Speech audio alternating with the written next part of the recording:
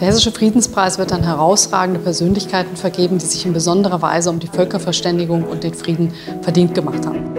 Ilvat Elman ist eine solche herausragende Persönlichkeit. Sie kümmert sich etwa um die Opfer von sexueller Gewalt, um die Reintegration von ehemaligen Kindersoldaten und um eine bessere Bildung für Mädchen und Jungen.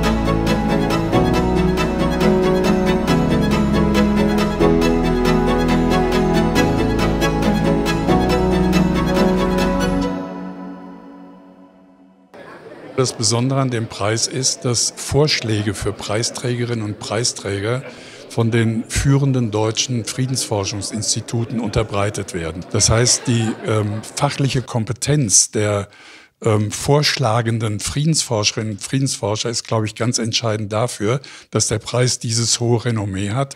This award presents a very big opportunity. Countries like mine in Somalia, where almost every solution has been tried and tested. We've had more than 15 different peace agreements. And we realize that the normative and outdated framework for building peace is no longer fit for purpose in my country or other countries that are also facing similar types of violence. So this platform and the spotlight that the prize provides is an opportunity for the world to rethink what are the new principles for building peace. Noch immer wird Frieden vor allen Dingen mit den Mächtigen gemacht, meistens Männern, während gerade die vulnerabelsten Gruppen, also diejenigen, die am verletzlichsten sind, außen vor bleiben.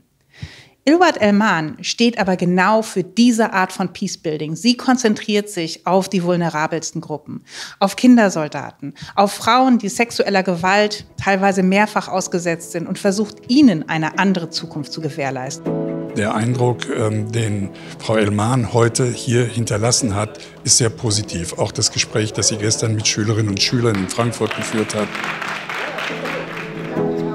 Also ich denke, wir haben eine sehr glückliche Entscheidung mit Frau Elman getroffen. And visiting young students in, in Germany while I was here has been reaffirming of the message that my late mentor, Mr. Kofi Annan, said that you are never too young to lead. Ilvat Elman ist mit ihren erst 33 Jahren eine der wichtigsten Stimmen der afrikanischen Friedensbewegung. Ihr großer Einsatz für Menschenrechte in einem der gefährlichsten Länder der Welt macht sie zu einer würdigen Preisträgerin für den Hessischen Friedenspreis 2022.